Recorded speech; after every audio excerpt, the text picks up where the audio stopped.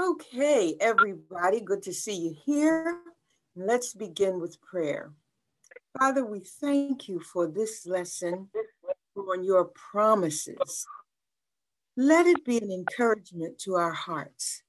Let us leave closer to you than when we came. Open our minds, open our hearts to understand and accept your word. In Jesus' name, amen.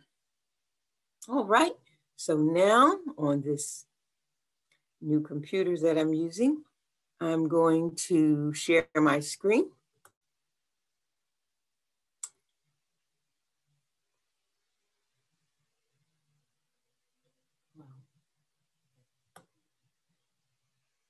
All right.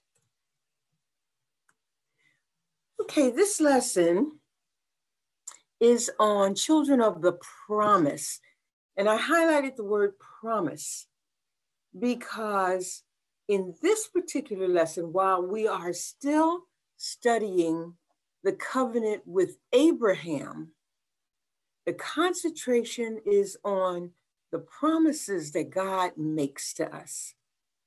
And the fact that um, it's filled with promises, this lesson should, should have us leaving this study feeling encouraged that God really loves us and He has made so many promises to us.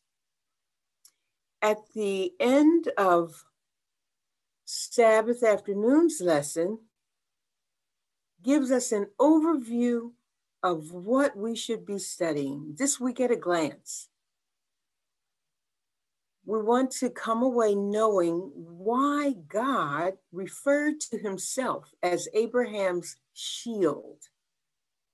Then we want to know how were all the families of the earth to be blessed through Abraham? And then we want to look into the greatest of the covenant promises. Let's begin with the memory verse and the memory verse says, Lo, I am with you always, even unto the end of the world. Now, this is coming from Matthew 28, verse 20. So we know God wasn't speaking directly to Abraham. This is Matthew telling us something that Jesus said but Jesus saying this reminds the people that God promised this in the covenant with Abraham. That God would be with us, his chosen people, the people who decide that they want to accept his offer to be in an agreement with him, in a covenant with him. And so this text kind of highlights the most important part of the covenant. The God will be with us always, even unto the end of the world. The story, the um, lesson starts with a story, but I'm going to skip it and come back to it if we have time. If we have time, we'll come back to that story. So I want to go straight to Sunday's lesson thy shield. In Genesis 1, verse, um, verse 5, we have this text. After these things, the word of the Lord came unto Abram in a vision, saying, Fear not, Abram, I am thy shield and thy exceeding great reward. So, this is a promise, one of the promises that's a part of the covenant. I'm your shield, I'm your reward. Don't be afraid. So, what would Abram have to be afraid of? What would Abram have to fear? Anybody have any ideas? What would Abram have to fear? That God would have to say to him, Don't be afraid, I'm your shield. Well, God asked him to move, and he went to a land uh, where there were strangers. He didn't, and he didn't even know where he was going. He's going to a land that has strangers. The land itself is strange. Sometimes we're afraid of people, but sometimes we're afraid of the elements, the land itself. What is it going to be like? What's the atmosphere going to be like? But that's why God says to him, Don't worry about that. Don't be afraid of that. I'm going to shield you from the things that you fear. I will be your sheer, shield. And what's particularly interesting here is that the Lord says to Abram, I am thy shield. There are several texts in the Bible, and we'll read some of them, where someone else, for instance, David says, The Lord is my shield. There are times when um, the writer of that, that book of the Bible says, God is our shield. But here, God is saying it himself to Abram, who later is Abraham. He says, I am your shield. That is so different when somebody promises you something. If somebody else has to tell you, you know that your friend made a promise to you. But when the friend promises himself or herself, it makes a difference. It shows the personal nature of the relationship.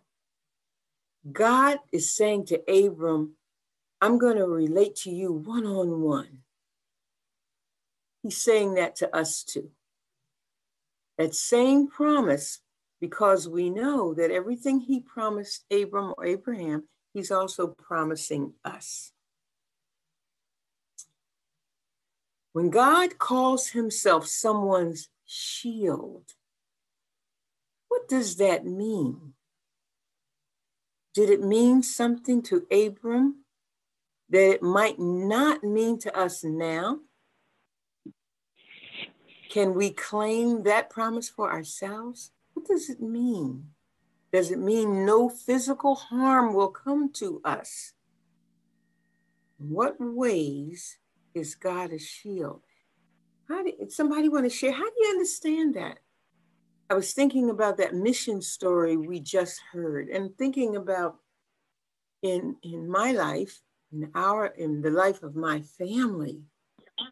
It seemed that just a few years ago, we had 13 people to die within two years in our family. And, and I remember Doris went through something too it seemed like there was a period when a lot of people in Doris's family passed away all within a short time.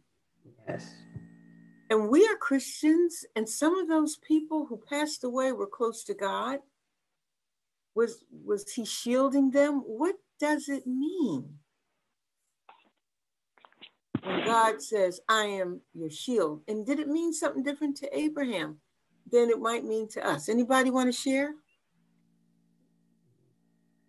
I thought, well, I think it means. Oh, go ahead, Doris. I thought that maybe shield means uh, protector. You know, regardless of where we go or how far or the situation, that uh, He would protect us. So that mean does that mean we won't ever get in an accident, or we won't ever die? What what does that no. protection? What does that mean? I think it means he'll just be with us and comfort us if we need that. But he's always there, no matter what we're going through. Agree. Because protection, I'm thinking when Doris says protection, you know, there are some people when things happen, they commit suicide or they just give up or they abandon life and hide under uh, some kind of hermit like shelter and they don't enjoy anything.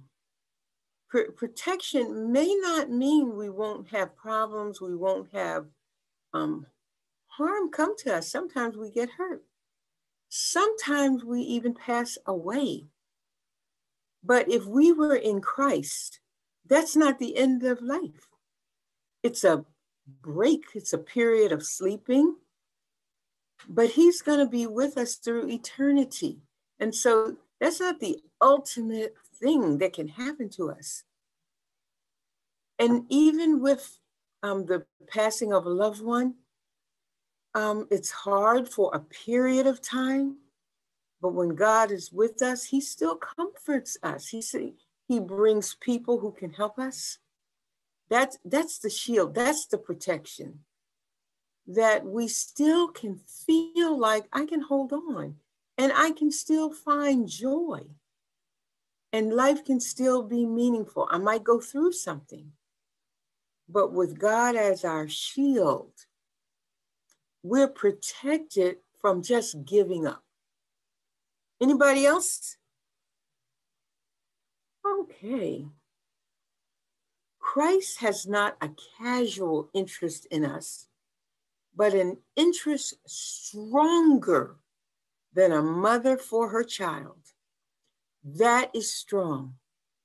Most of us have been mothers. Those of us who haven't been mothers, We've been aunts, we've been teachers, we've been close to somebody. And when there's somebody you're close to, especially someone who's younger, who's depending on you, whose shield you are, and Christ's interest in us is even stronger than that. Our Savior has purchased us by human suffering and sorrow by insult, by reproach, by abuse, mockery, rejection, and death. He went through all of that. He's watching over you, trembling child of God. He will make you secure under his important word, protection. Our weakness in human nature will not bar our access to the Heavenly Father. For Christ died to make intercession for us. It just, there's so much that He gives us if we will take it and be a part of this covenant. Now, this whole lesson has to do with promises. So, that first one was the promise of him being a shield. He's going to protect us. The next part, this, this promise in our lesson comes in two parts the messianic promise. The promise, messianic means Messiah, the Messiah.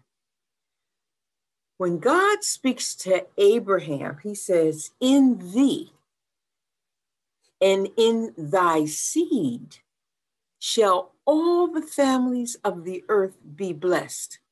All the earth, the whole earth. Well, how is that? How is everybody blessed through Abraham's seed? It is pointing directly to the coming of Christ. When Christ comes through the children of Israel through Abraham's direct seed. Those Abraham has Isaac, Isaac has Jacob, Jacob has those 12 sons that gives us the children of Israel, because remember, Jacob's name is changed. And through them, Jesus comes. And then the New Testament once Jesus comes, we're told, and if ye be Christ's, then ye are Abraham's seed and heirs according to the promise. Now, all people who accept Christ now are part of this covenant. Is it making sense?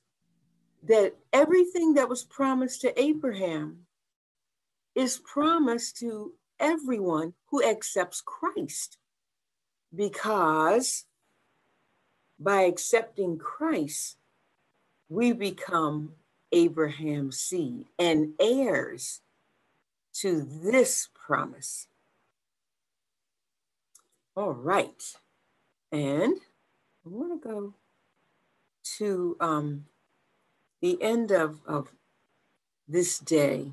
How do you understand the notion that Abraham, through Jesus, all the families of the earth would be blessed? So, how are they blessed? What does that mean? How are they blessed? How are all, all people are blessed? Now, you know, the um, Orthodox Jews today, they think they're the only ones blessed. And there are some other religious groups who believe they're the only ones who are blessed. What is this saying? Sister Letty, are you trying to say something? Uh, no, I'm listening. How do you understand the notion hmm, that everybody is blessed? That was from the very beginning. Do you remember way back when it was just um, Adam and Eve? Way back when we studied that first lesson, we found out that when they messed up, immediately God says, Well, there's going to be enmity, uh, uh, a strife, a pull apart between Satan and the seed of Eve, of the woman. There weren't any Jews yet.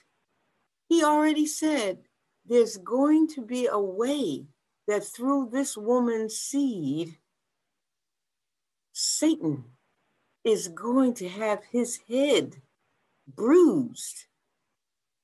And so we know that all from the very beginning, the promise is going to be for everybody. Okay, um, let's move on.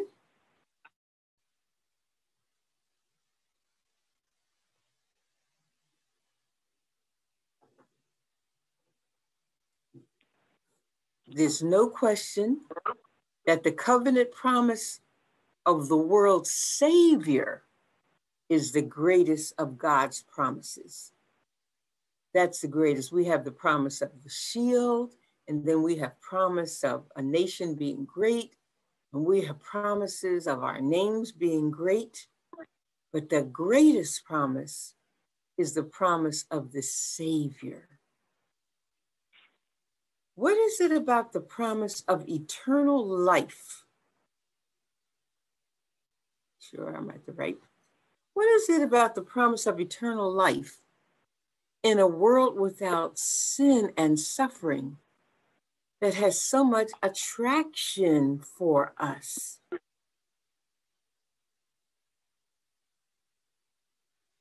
Could it, uh, it be? Sounds, Go ahead. It just sounds perfect. This world is so horrible that um, we just can't wait to be someplace else. this is this can't be all. There are some people who believe this is all, mm-hmm. and that seems so hopeless. And to know that there's something else is just uh, it's just joyful. Could it be that we long for that something else, that joyful part? Because that's what we were originally created for and that by longing for it, we're longing for something that is basic to our nature. We weren't created for death, we weren't created for all this sin. And so there's something in us that longs for that perfection that we'll never find in this world. Any other comments? uh, uh, uh, Sister I, I think that um, this longing uh, that we have to get, we really have to be deep in Christ and really, really love Him because most, uh, I think a lot of people do a, lot of things and try to get a lot of stuff. Is mm-hmm. what you just said. Uh, they think this is the end. Mm-hmm. Mm-hmm. There is no more. Yeah, because they don't see the road or or or they don't see the place where they're going. Mm-hmm. So they think this is it, and they and they try to get old again right here. Yeah, and that leads right into the next day. Okay, so let's look at it. That's a perfect entrance into the Messianic promise part two. Oh, one thing I do want to, no, I'll wait. I'll wait until we get to um, Wednesday. The Messianic promise part two. This is what um, is bringing us to that if you don't understand or know about this covenant and about eternal life, then you'll try to find the joy, the comfort, the shield. You'll try to find the things that God is promising us with a covenant with Him. But if you don't know about it and you don't enter into the covenant with Him, you try to find joy and satisfaction and comfort and, and shielding, protection in other things. And that's just what this messianic promise part two is about. So this uh, day talks about two people. The first one, it, there's a quote by Thomas Browne. Um, Thomas Browne was a British person who lived back in the 1600s. And he was just known for being um, a philosopher, a scholar, a writer. He was known in his day. And so when he said something, you know, people just clung to it.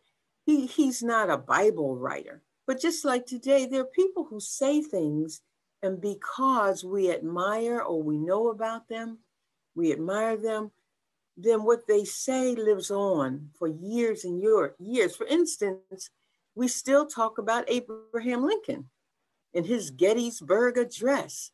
And there are other quotes that come to us from Abraham Lincoln. We admire him. He's a person closer to our times. Same thing with Dr. Martin Luther King. There's so many quotes that come from him. You know, if you make the best mousetrap, the world will make a beaten path to your door because you have something that's good. Well, this was a person like that in his time. But what he had to say um, affected many generations. So he says, this Thomas Browne, who's British, to enjoy true happiness we must travel into a very far country. In other words, wherever we are right now, we're always going to come up against stuff that brings you down. There's always going to be some kind of strife, some kind of problems. You got to go on vacation. you got to go someplace to get away from it. And sometimes we do that. I went to um, Hawaii and it was beautiful. But when I was in Hawaii on the television, with some things going on that still brought the strife right back. You're supposed to be getting away. But Thomas Browne says sometimes you have to even go out of ourselves. You got to go outside of yourself he's alluding to something spiritual. He's talking about God. Okay? So there are two Bible texts that help us connect to what Thomas Browne was saying. Look at the above quote that was written in the 1600s, the one we just read. And then let's read First Thessalonians 4 6 through 18. And Miss Letty, would you look that one up? And then Doris, okay. would you go to Revelation 3:12? Let's look at those two Bible texts and see how they relate to what Thomas Browne was saying. First Thessalonians okay. 4, 16 through 18. Okay, this is from the NIV. Okay. For the Lord himself, for the Lord himself will come down from heaven with a loud command, with the voice of the archangel, and with the trumpet call of God, and the dead in Christ will rise first. After that, we who are still alive and are left will be caught up together with them in the clouds to meet the Lord in the air, and so we will be with the Lord forever.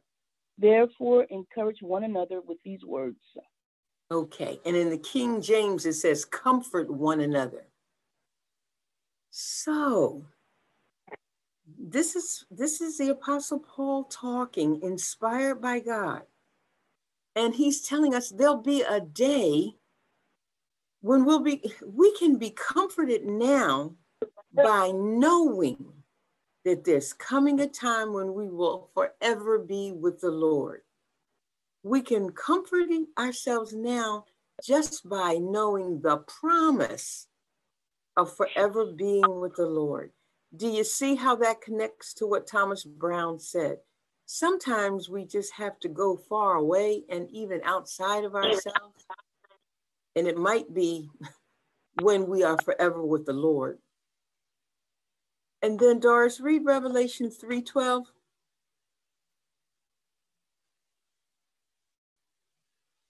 King James Version. Him that overcometh will I make a pillow in the temple of God, and he shall go no more out. And I will write upon him the name of my God and the name of the city of my God, which is New Jerusalem, which cometh down out of heaven from my God, and I will write upon him my new name. A new Jerusalem we're being promised a new Jerusalem. And that's that's giving us comfort also. So this messianic promise that was given to Abraham, it's reinforced to us today.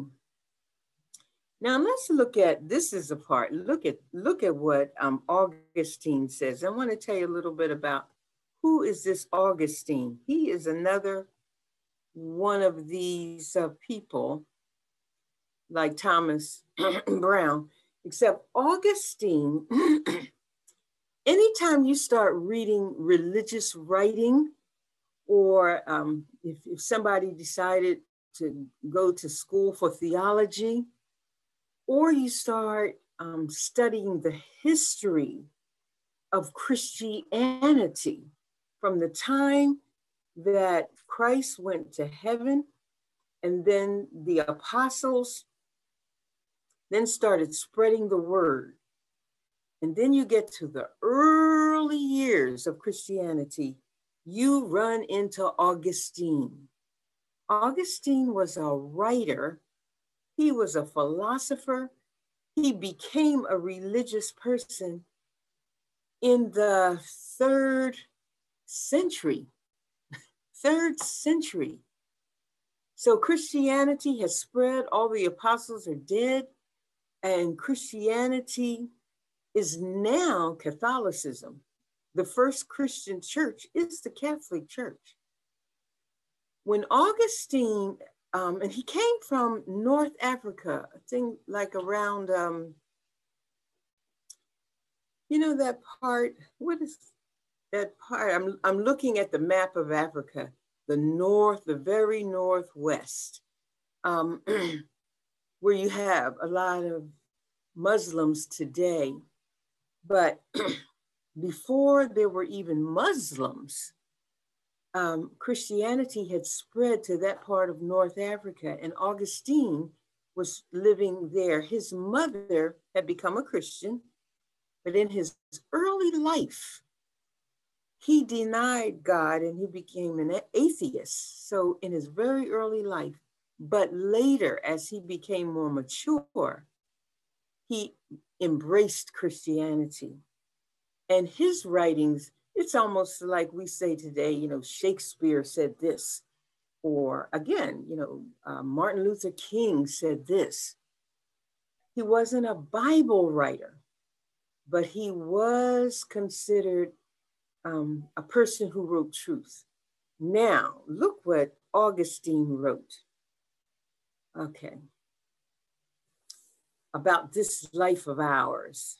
He says, in this life of ours, there are dreadful abyss of ignorance. Some people are so ignorant, they just don't even know truth.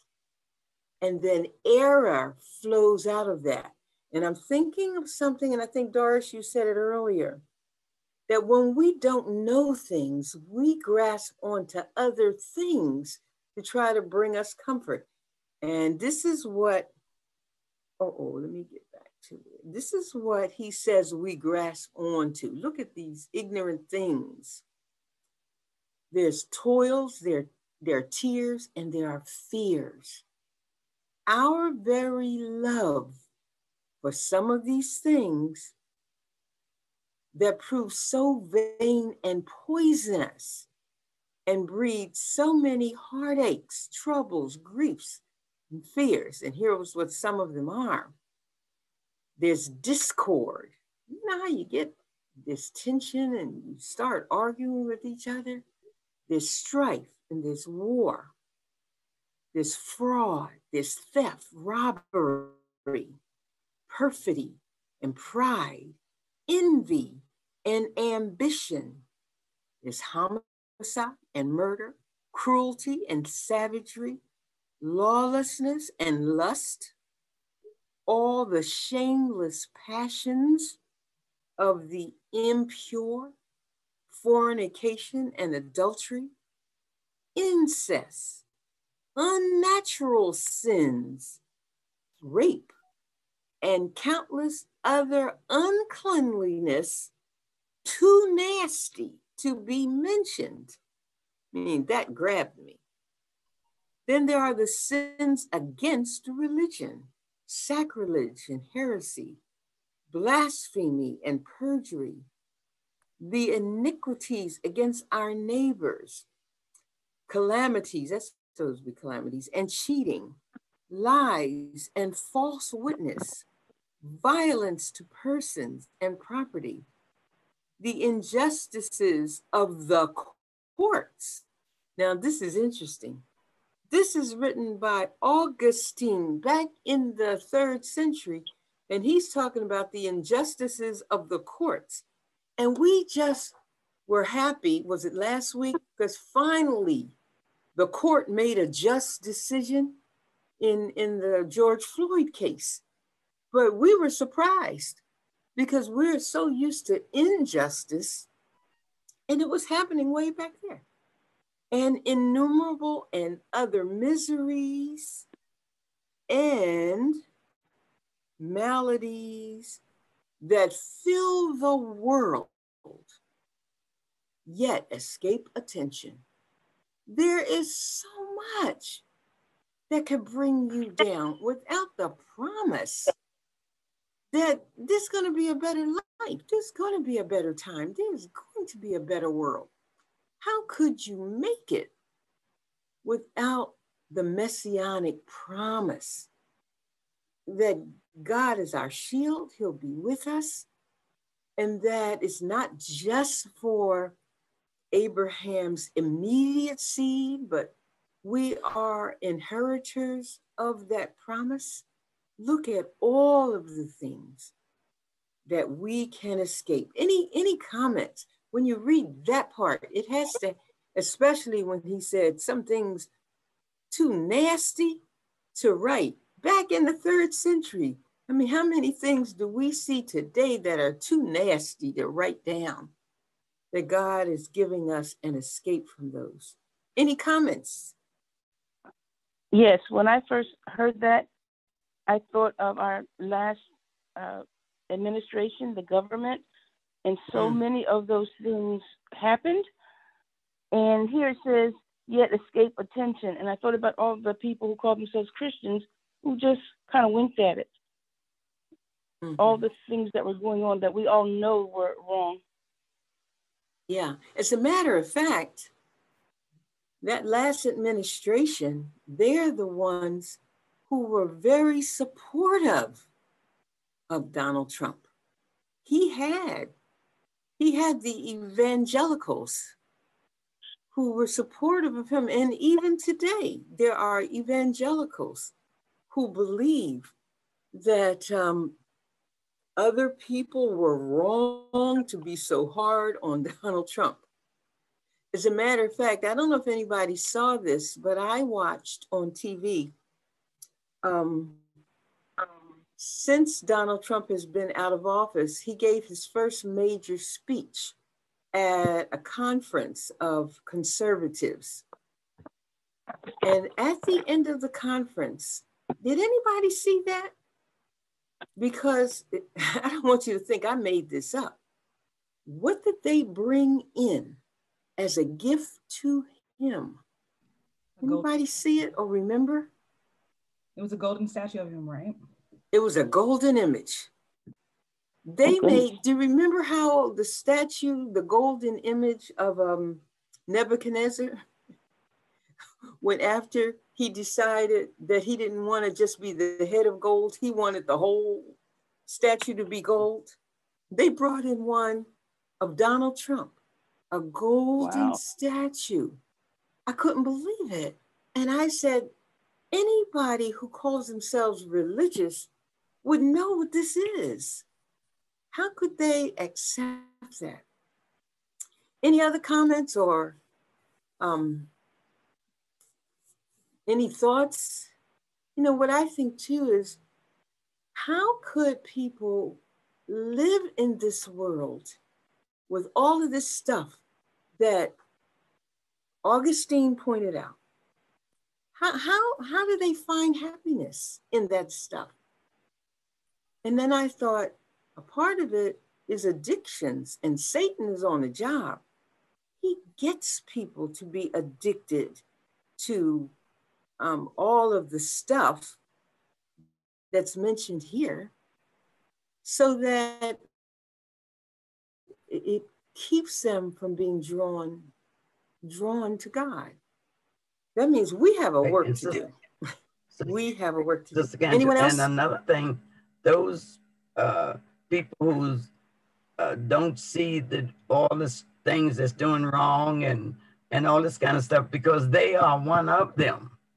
It's half half the things they doing themselves. That's why they don't uh, strike against it. Mm, mm-hmm. Yeah, when you're so deep into it and you're the one doing, you know, I'm looking at some of the stuff. You're the one who's so prideful, and you're the one involved in the envy and the cruelty and the lawlessness. You're the one who's involved in the fornication and the adultery. You're so into it yourself that um, it's become comfortable for you to a point. Because all these things cause misery. Even the people who are in it, they're not happy. Then they're they're searching they're getting deeper and deeper searching for the happiness. Um, but they're not happy. And you know what they say about addictions whether it's a physical addiction or one of these other kinds when you first start off smoking a cigarette or drinking it just takes a little bit to give you that pleasurable feeling but as time goes on you need more and more and more of it the amount you took in the beginning does nothing. You got to get deeper and deeper in the sin in order to feel like it's giving you any joy. Hmm. Wow.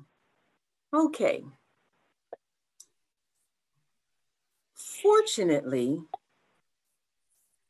however tough our situation now, the future is bright but only because of what God did for us through the life, death, resurrection, and high priestly ministry of Jesus Christ, the ultimate fulfillment of the covenant promise made to Abraham that in his seed, all families of the earth will be blessed. You know, there's something, I, before we go on to the next day, I want to go back to First Thessalonians 4 6 through 8, because this text, even though it's here for us to know that that eternal life is what comforts us. There was something else that was said there. And since this is new believers, I just want to bring it out because some of us who are here who are old believers.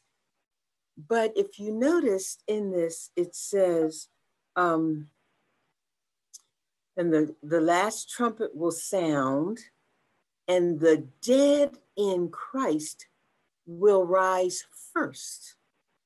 And those of us who are alive will be caught up with them in the air, and then we'll be forever with the Lord. But I don't want to just skip over that, even though it doesn't fit this lesson right now. Since the text is here, I just wanted to bring that out. The dead in Christ will rise first. So many Christians believe that those who were Christian, who had a relationship with God, when they died, they went straight to heaven. So many people believe that and you go to funerals and you'll hear the pastor saying, Sister so and so is looking down on us right now. Or brother so and so, even though he suffered on this earth, his illnesses are, are now gone and he's enjoying a new body in heaven right now. But this text, and this is only one, there are many texts, and we won't go to them because that's not what the lesson is about. But this is not the only text that tells us when person dies, whether they die in Christ or not in Christ, they are in the grave. Jesus calls it a sleep until this time that's talked about in First Thessalonians, when the trumpet of God shall sound and the dead in Christ will rise. They rise first. Why would they rise if they're already enjoying eternal life? They rise, and we who are alive will join them, and then we will forever be with the Lord. Any questions about that? Even though it doesn't fit this lesson, but I didn't want to just let that go the state of what happens when people die. This is one of the texts that tells us they must be in the grave, but there are other texts. And if anybody wants to ask me about that later, you can. Okay, so let's look at um, a great and mighty nation. This is another promise that's in the covenant. Okay, and I didn't want to talk about all of it, so let's just go here. Why did the Lord make a special nation out of Abraham's seed? Did the Lord just want another country of certain ethnic origin? What purposes of this nation, what purposes did this nation fulfill? So before we read these texts, while we're looking for it, something I want to tell you about Abraham and how this Abraham seed and how this covenant begins. Um, so I'm going to ask Doris, can you look up Exodus 19 and you'll read five through six when we're ready. And then Sister Letty, could you um, read Isaiah 60 and read one through three. And Danny, are you still with us? I saw Danny pop in. Did he pop back out? Okay, I don't hear him. And so, um, Whitney, can you do De uh, Deuteronomy 4, 6 through 8? Sure. Okay. Now, before we read those, something when we talk about this promise was um, for Abraham's seed.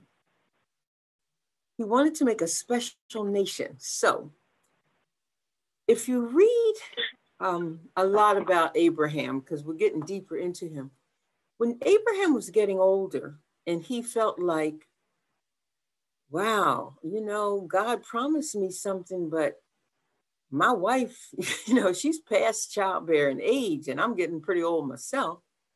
I better go ahead. And, and Sarah actually suggested, why don't you try to have a child with the maid? And so he did.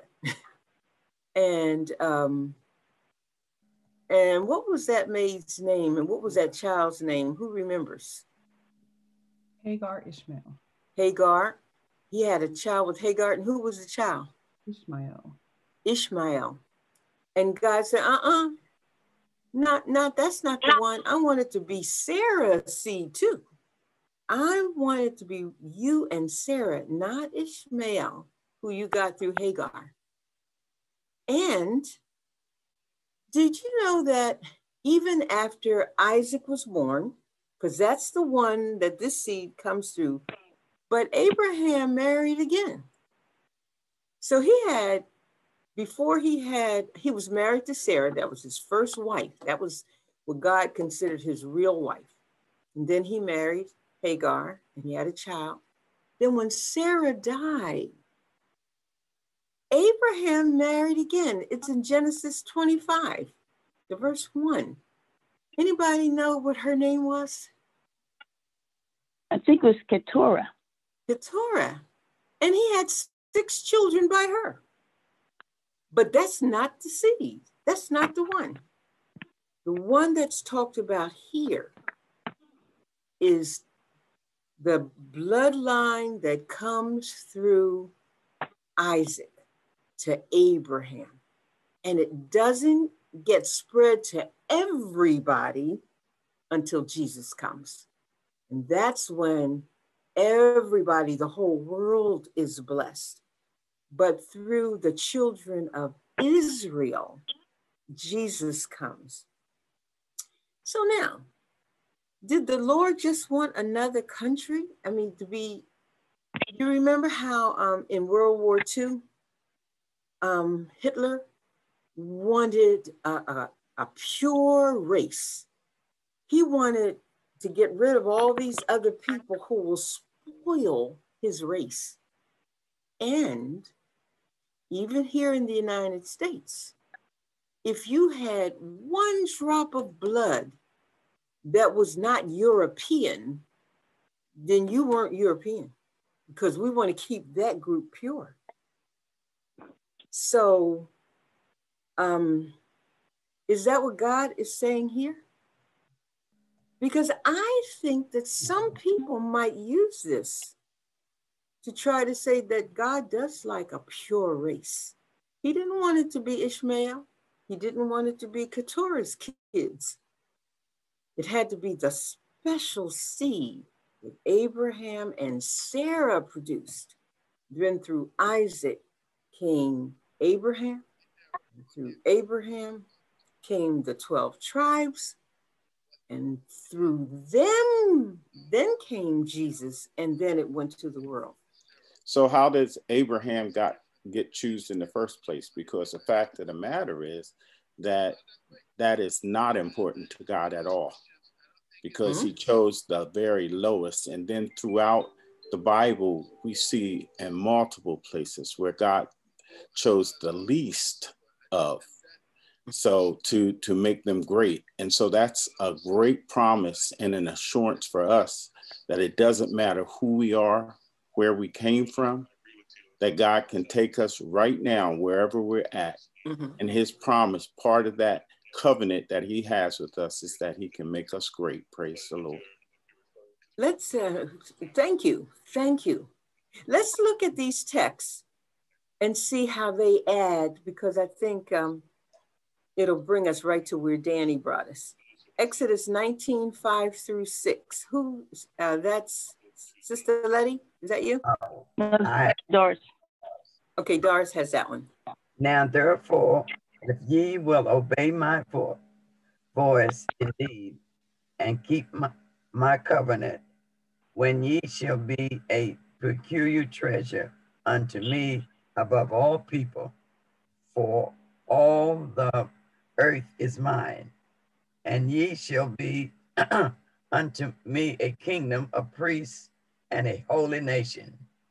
These are the words which thou shalt speak unto the children of Israel.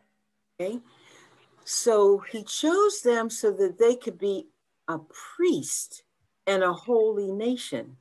What do priests do? Priests spread the word. He chose them to be the priests so that they could go out and spread the word. Go to um, Miss Letty. You have Isaiah, Sister Letty. Yes, yes. Mm-hmm. Uh, Isaiah 61 to 3. Arise, mm-hmm. shine, for your light has come, and the glory of the Lord rises upon you. See, darkness covers the earth, and thick darkness is over the peoples. But the Lord rises upon you, and his glory appears over you. Nations will come to your light, and kings to the brightness of your dawn. This was said, Isaiah was giving a prophecy, and he's telling God's special people. He's actually talking about the time when they come out of their second captivity, when they're coming out of Babylon. And he says, Your light has come. Nations are going to come to you, kings are going to come to you you know I've given you information. You're the ones that I've God has poured into you so that you can be the light.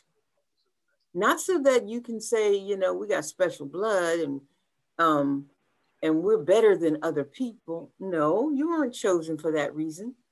You were you were a humble people. But I'm giving you so that you can give to others.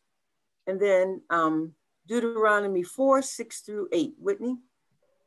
All right, reading from the King James Version. Keep okay. therefore and do them.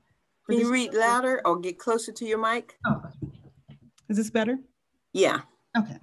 Keep therefore and do them, for this is your wisdom and your understanding in the sight of the nations, which shall hear, I'm sorry, which shall hear all these statutes and say, Surely this great nation is a wise and understanding people. For what nation is there so great who hath God, who hath a God so near unto them, as the Lord our God is in all things that we call upon him for. And what nation is there so great that hath statutes and judgments so righteous as all this law which I set before you this day? What are you hearing there?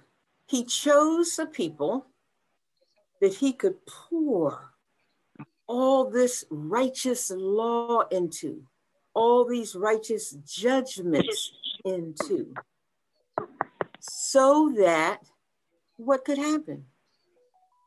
Other nations would see it and say, wow, look what they have. So, why did he choose them?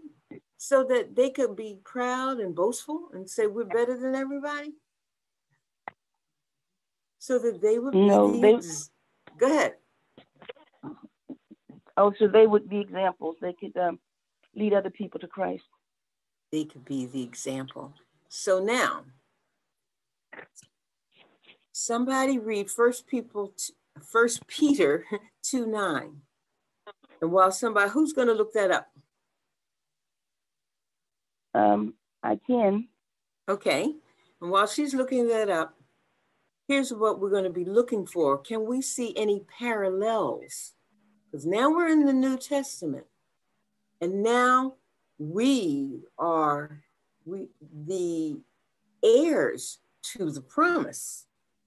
So can you see any parallels between what the Lord wanted to do through Israel and what he wants to do through our church? If so, what are those parallels? And let's read First Peter 2 9 to see if we can see anything that Peter is saying. It sounds like what we read in those other texts. Right, I have it. But ye are a chosen generation, a royal priesthood, a holy nation, a peculiar people, that ye shall show forth the praises of him who have called you out of darkness into his marvelous light. Okay. So remember the others were called a priesthood? Yes. They were to be priests. Priests spread the word. We are now those priests. We were called out of darkness and we are given all of this good information so that we can spread it. We aren't given anything and we're not, and I think especially when Peter is talking, is he talking about Seventh day Adventists right there in First Peter 2 and 9? Who's he talking, talking to? to He's talking to those who accept Christ, death and resurrection. Right. You know, you know there wasn't even um, Catholics yet, because the Catholic Church said Peter was the first pope. But these are for those who accept Christ. Some, most of them were Jews who are now coming out of Judaism, accepting Christ. And then there were Gentiles who were beginning to leave their old ways. And most of the Gentiles in those days had many gods. You know, the Greeks and the Romans had many gods. Now they're beginning to accept Christ and the idea of one God. So that group, who was small in Peter's day compared to how many Christians there are today, they had a job to do to go into the whole world and preach this gospel. And so we are to be, just as we inherit the promises that God gave to Abraham, we are to be the messengers. We are to do the work that God wanted Abraham's seed to do. Is it making sense? Okay, take that as a yes. Now, another promise was I will make your name great, and I will make of thee a great nation, and I will bless thee. We already talked about that just um, on Wednesday. And make thy name great, and thou shalt be a blessing. God promises to make Abraham's name great, that is, to make him famous. Did God bestow greatness on Abraham for his own personal benefit? Or did it represent something else? Remember how we just talked about um, Thomas Browne? and we talked about Augustine, how so many years later, their names are great. We think about Dr. Martin Luther King, and we talked about names um, last week. That was a part of it. But we're going to read Genesis 11 4 and Genesis 12 2 and see what is the difference between what is said in these two texts. In what ways do, does one of these say, you're great because of your works? Or are you great because of your faith? Is it salvation by works? Salvation by faith? And we've had this so many times. It comes up over and over because it is a repeated struggle for many people, and it's throughout the Bible that we are saved by grace through our faith, not through our works. So, um, can I get somebody to volunteer to read Genesis 11 4? And then somebody to volunteer to read Genesis 12 2. I have 11 4. Okay. I can do 12. Then they said, Oh, you want it now? Um, well, who's going to take 12 2? Uh, Whitney, were you going to do that? Yes. Okay. So go ahead, um, Letty. Then they said, Come, let us build ourselves a city with a tower that reaches to the heavens, so that we may make a name for ourselves. Otherwise, we will be scattered over the face of the whole earth. Hmm. That's a perfect example. These people were working to make their name great, and they said it. Let's do this so we can make our name great. Okay, that was that's a per. There's plenty of examples in the Bible, but that's a perfect one. Genesis 12, 2. All right, reading from the King James Version. And I will make of thee a great nation, and I will bless thee and make thy name great, and thou shalt be a blessing. Okay. Jesus, God says, I'll make your name great. When we do, um, when we have a relationship with Him and our faith is strong in Him, He makes the name great. We don't make it great ourselves. It's not what we do to make ourselves great or to even earn our salvation. It's the relationship we have with God that He makes great. And He saves us because of our relationship. Um, and there was something, let's see, did I highlight it? Okay, right here. Look at some of the men and women who have great names in the world today. Sometimes they're actors, sometimes they're politicians, artists. Sometimes they're great just because they're rich. What is it about these people that has made them famous? And then contrast that with the greatness of Abraham. What does it tell us about how perverted the world's concept of greatness is? We, we well, even, you know, some people, now, some people are famous and then some people are what we call infamous. What, do, what does that word mean, infamous? Um, they're known for something that's negative. Yeah. They're actually great in that their name is well known because they did not do some good stuff. They did some terrible stuff. They're considered infamous, but their but their names are still great. And um, I think of um, Charles Manson. Did he die recently? Didn't he just die recently? And his name. I don't know. I think he did. But he was in prison for a long time because of um, how he killed people and how he even had a family of uh, wicked and evil people who just killed for the sake of killing. Um, but then we have people who are great because um, of how they act and, and, and the movies that they make. And then we have people because they're so rich, we look up to them. Hmm do we have great people that we consider great within Christianity? I think Martin Luther King is one of those people. Martin Luther King and Martin Luther. Yeah, I was remember Whitney brought that out last week.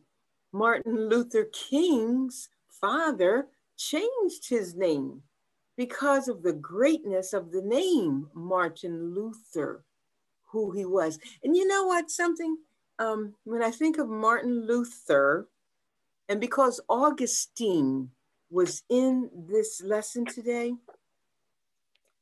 and, and a personal experience I had, and I think of it all the time, even though I was Adventist, um, when I really felt like I now get it, I now know the difference between salvation by works, salvation through grace, by grace through our faith.